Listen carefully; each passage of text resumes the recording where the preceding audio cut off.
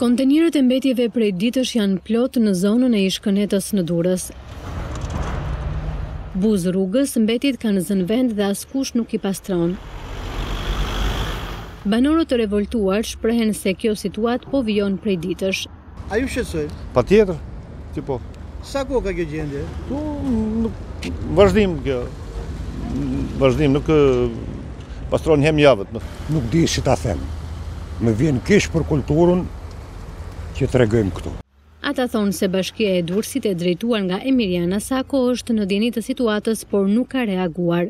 A keni ngrit si problem ju bënë? Po shife, gjë si shife, kjo, normal që kemi ngrejt me, ngrejt me vetë, kjo shifet me sy të lirë, se që një një është. Kanali i ujërave kulluese është mbushur gjithashtu me mbetje që rëndojnë situatën atje. Kur s'i pastron shteti?